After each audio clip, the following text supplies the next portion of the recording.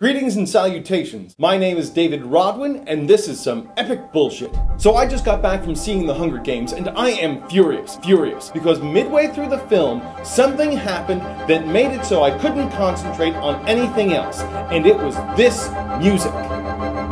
Now, in the credits before the film begins, it says music by James Newton Howard, and I'm here to tell you that music you just heard is not by James Newton Howard. Now, I think James Newton Howard is an excellent composer, so my beef is not with James Newton Howard. Now, it's not uncommon for a film to have lots of songs in it that weren't composed by the composer of the film. It's less common, however, to have orchestral music in the score that was not composed by the credited composer. Now, there are exceptions to this rule, especially when it comes to classical music. The most famous example of this is the film of 2001 A Space Odyssey, where Stanley Kubrick decided to take a piece from Strauss, and its inclusion in the film helped make it the best known piece of classical music ever.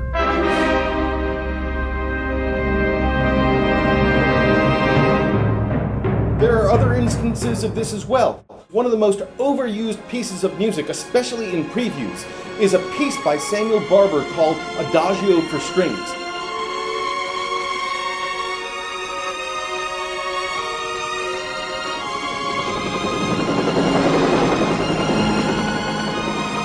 Something that happened last year that makes what happened in the Hunger Games seriously infuriating for me. The film called The Artist won the Oscar for Best Score. And this is when it used an orchestral cue over and over again that the composer credited on the film did not compose.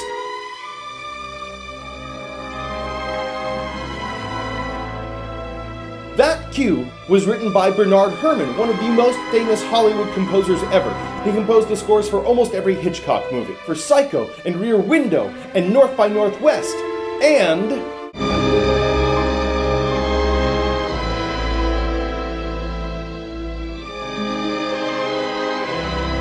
The artist uses the music from Vertigo, this extraordinary love theme, over and over and over again in the most climactic, serious moments of the film.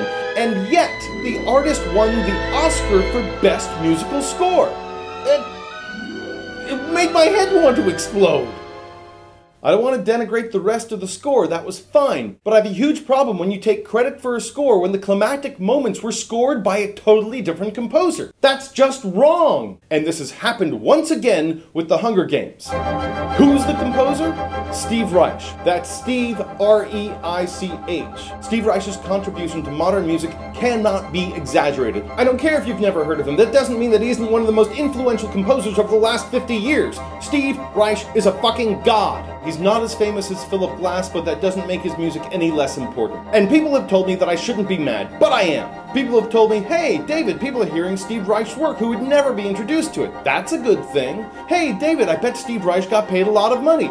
That's a good thing. And I agree, those are good things. However, in the past, when music has been used like this in a very popular movie, that has actually risen the fame of that composer. Steve Reich is in his 70s. People don't know about him. People should know about him. This film should be getting an enormous audience familiar with the work of Steve Reich, but they don't know it because he isn't credited until the very, very, very, very end of the credit scroll at the end of the film. What's more, the soundtrack doesn't feature his music, it instead has tracks by Taylor Swift. Did you hear a Taylor Swift song in that? No. I mean, this is fucking crazy. How is Steve Reich's music featured? It's that climactic moment where all the kids run for the weapons and it becomes an absolute bloodbath that goes on and on. And it's in slow motion and there's blood everywhere and the music is pounding. There's no dialogue. It's all about the music. Without that music, that scene doesn't exist. For over two minutes, that was Steve Reich. But because the theater had completely emptied out by the time Steve Reich's name came up on the credit scroll at the end of the film,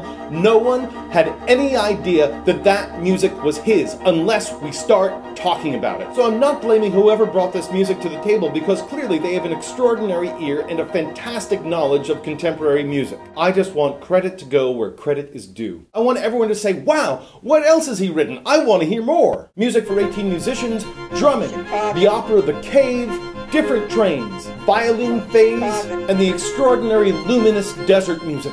So spread the word. Thanks for watching. Like, subscribe, and share with friends. And Steve, if you're watching, love your music, I hope you got paid a f of a lot for it. My name's David Rodwin, and this was some epic bullshit.